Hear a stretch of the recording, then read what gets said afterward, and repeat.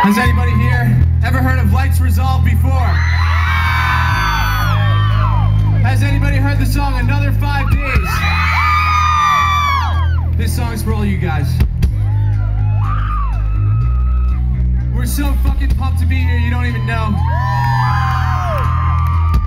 We got to see some great bands today. The urgency was in representing.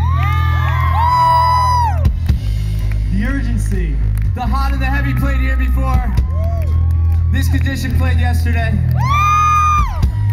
Come see the Used tonight, and no doubt.